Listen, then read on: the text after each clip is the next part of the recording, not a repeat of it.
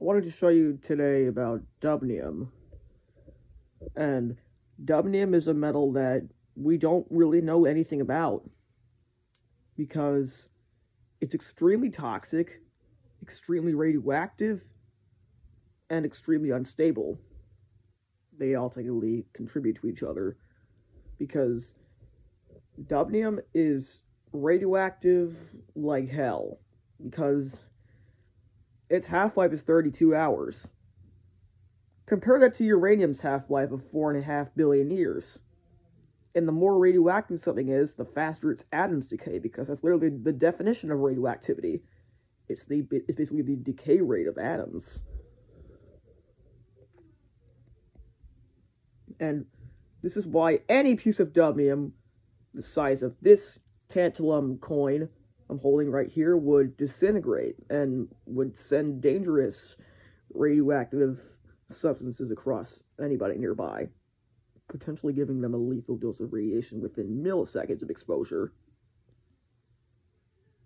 And the reason why I have this is because tantalum is the metal that's most chemically similar to dubnium, because its position on the periodic table and similar electrons like the similar valence electrons and stuff would basically um, give dubnium similar properties to it.